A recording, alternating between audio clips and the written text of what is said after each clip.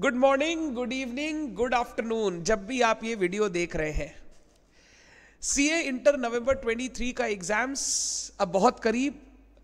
सारे ही एस्पिरेंट्स के मन में एक बहुत ही डर का माहौल है। एंड उसी डर को कम करने के लिए हमने गुरु ज्ञान सीरीज़ को इंट्रोड्यूस किया था for subject of accounts advance accounts cost FM and tax जिसको आप सारे ही लोगों ने बहुत सराहा।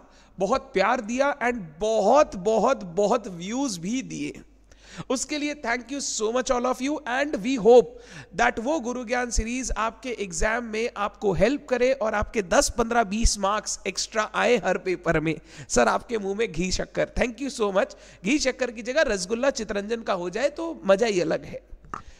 अब उसी गुरु ज्ञान सीरीज़ में अकाउंट्स वाला सब्जेक्ट ग्रुप वन अकाउंट्स वाला सब्जेक्ट का last video but the most important video for accounts जो दो नवंबर को हमारा अकाउंट्स का पेपर है, अब हम लोग उसका लास्ट रिवीजन करने के लिए पूरी स्ट्रैटेजी बना रहे हैं।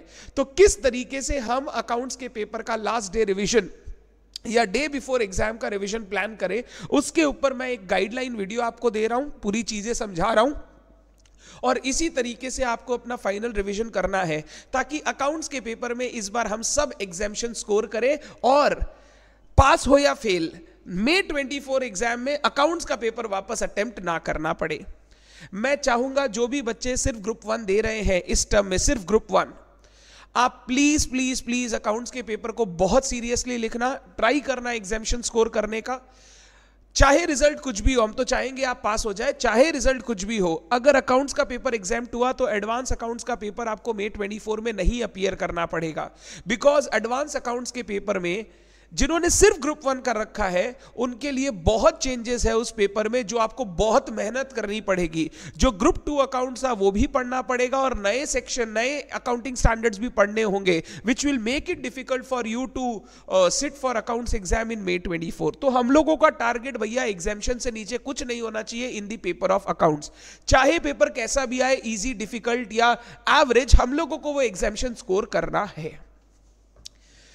ये जो अकाउंट्स का एग्ज़ाम हमारा दो नवंबर को है, इसकी हम लास्ट रिवीजन चालू करेंगे तीन दिन पहले, यानी तीन दिन हम लोग देंगे अकाउंट्स के पेपर के लिए। तीस अक्टूबर thirty first October and first November, ये थ्री डेज़ हम लोगों को देने हैं। चाहे आप कितने भी अच्छे हो अकाउंट्स में, चाहे आप कितने भी कॉन्फिडेंट हो please give these three days और प्रॉपरली इस तीन दिन को प्लान करेंगे प्रॉपरली इस तीन दिन में अकाउंट्स का रिविजन करेंगे सो so दैट हम अपने लक्ष्य को पा सके। जब आप अपने अकाउंट्स का रिवीजन कर रहे हो रिमेंबर सिर्फ़ रिवीजन करने से रिवाइज करने से नहीं होगा। आपको हर चैप्टर में जो इंपॉर्टेंट पोर्शन है, उसके कुछ क्वेश्चन हाथ से बना लेने हैं। So that exam first exam में कोई पेपर कोई क्वेश्चन बनाने जाओ तो वो क्वेश्चन बीच में ना अटके और आप प्रॉपरली जो भी क्वेश्चन शुरू कर रहे हो, उसको कंप्लीट कर पाओ। मैंने हर चैप्टर के पास आपको रेड में एक नंबर लिख के रखा है टू थ्री फोर एक्सेट्रा वो इतने नंबर ऑफ़ क्वेश्चन है जो मैं चाहता हूँ आप उस पर्टिकुलर चैप्टर से कम से कम प्रैक्टिस करके जाए। ये प्रैक्टिस आप मेरी बुक से कर सकते हो।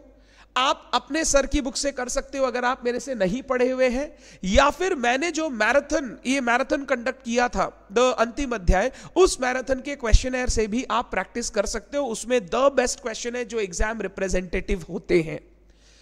तीस तारीख को हम लोग सबसे पहले करेंगे single entry insurance claim investment hire purchase ये चार चैप्टर अराउंड थर्टी मार्क्स का थर्टी मार्क्स का कंटेंट आपको एग्ज़ाम में इन चार चैप्टर से देखने मिलेगा। सबसे पहले हम ये चार चैप्टर सल्टाएँगे इसके बाद कंपनी अकाउंट्स का बोनस एंड राइट इश्यू और प्रेफरेंस शेयर अराउंड 10 मार्क का क्वेश्चन एग्ज़ाम में आपको इससे देखने मिलेगा।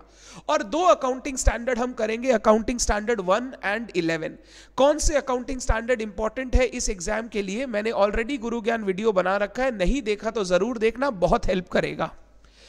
थर्टी को ये रिवीजन करने और क्वेश्चंस बनाने के बाद थर्टी फ़र्स्ट को वी विल मूव टू सबसे पहले हम डिपार्टमेंट करेंगे, जो दस मार्क का एक क्वेश्चन ऑलमोस्ट हर टर्म में आता है। फिर हम लोग कंपनी अकाउंट्स में cash flow statement debentures pre post managerial remuneration ये चार चैप्टर करेंगे। रिमेंबर डिबेंचर्स हमेशा इन्वेस्टमेंट हो जाए, उसके बाद ही लीजिएगा बिकॉज़ इन्वेस्टमेंट करने के बाद डिबेंचर के कुछ पोर्शन काफ़ी ईजी हो जाते हैं, जो मेनली इंटरेस्ट कैलकुलेशन से लिंक्ड है। अकाउंटिंग स्टैंडर्ड में account accounting standard two twelve और सिक्सटीन आपको थर्टी फ़र्स्ट को देखना है। जो मैंने ब्रैकेट में नंबर ऑफ़ क्वेश्चन लिखे हैं, ज़रूर बना लीजिएगा।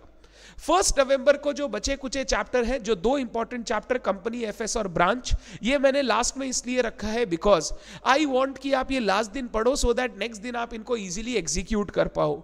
कंपनी फाइनेंशियल स्टेटमेंट में एक क्वेश्चन जिसमें बैलेंस शीट और पीएल दोनों बनाना है और एक क्वेश्चन जिसमें सिर्फ़ बैलेंस शीट बनाना है, ये दो क्वेश्चन ज़रूर हाथ से बना के जाए ऑन दी लास्ट डे एक क्वेश्चन डिविडेंड का देख के जाए, जिसमें रिज़र्व से अगर डिविडेंड देते हैं तो क्या क्या क्राइटेरिया फुलफिल करनी होती है, उसका क्वेश्चन देख के जाए। ब्रांच बड़ा चैप्टर है। सबसे पहले स्टार्ट कीजिएगा dependent branch debtor stock and debtor system पहले कीजिएगा, फिर फॉरेन ब्रांच में जाइएगा, फिर जो इंडिपेंडेंट ब्रांच है उसमें जाइएगा। ये इस तरीके से आप ब्रांच को कंप्लीट कीजिएगा। और बचा ए एस टेन वो ए एस टेन आप इसके बाद करेंगे। जो हमारा डेट ऑफ़ एग्ज़ाम रहेगा second November the day of exam उस दिन सुबह, जितने भी आपका पास टाइम है, तीन घंटा, चार घंटा, पाँच घंटा, आप सिर्फ़ एक ही काम करेंगे, सारे अकाउंटिंग स्टैंडर्ड्स को एक बार रिवाइज करेंगे। ये अकाउंटिंग स्टैंडर्ड के रिविजन के लिए मैंने अंतिम अध्याय वाले मैराथन में एक 20 पेजेस का शीट दिया था, जिसमें मेरा हैंड रिटन रिविजन नोट्स था, जो हर पॉइंट ऑफ़ एएस को कवर कर रहा था और उसके बेसिस पे आप अपना एग्ज़ाम में आंसर अच्छे से फ्रेम कर सकेंगे। तो आप वो अंतिम अध्याय वाला जो मेरा रिविजन नोट था एएस का ज़रूर फॉलो करना। सर चैप्टर को रिवाइज कैसे करें? मैंने आपको समरी बुक दे रखी है, जिसमें हर चैप्टर का हमने समरी लिख रखा है, आप उसको फॉलो करें। एंड क्वेश्चन बनाने के लिए आप मेरा अंतिम अध्याय का क्वेश्चन को फॉलो कर लें। अगर इस तरीके से हम तीन दिन देकर अपने अकाउंट्स पेपर को रिवाइज करते हैं, मेरे को नहीं लगता कोई भी ऐसा रीजन कि 60 से नीचे आपके पेपर में आने चाहिए। 100 percent you will score an examination मेरी दुआ है आपके साथ। All the best to all of you अच्छे से एग्ज़ाम देना। एंड एग्ज़ाम के बाद जब आपको लगे कि हाँ गुरु ज्ञान सीरीज़ ने हमें हेल्प किया सर के मैराथन ने हमें हेल्प किया, ज़रूर हमारा उत्साह बढ़ाने के लिए कमेंट लीव करना यूट्यूब में कि, सर यस अब एग्ज़ाम दे के ऐसा लग रहा है कि वी विल गेट थ्रू और हम लोग बहुत अच्छे से करके आए हैं and sir your videos Navneet sir videos Amit sir videos help us a lot done this motivates us in doing a lot of good work for you all thank you so much अच्छे से पढ़िए. All the best to all of you bye